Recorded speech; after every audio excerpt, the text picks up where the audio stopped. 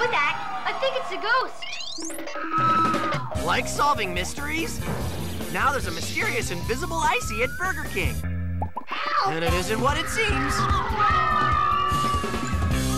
Where'd the color go?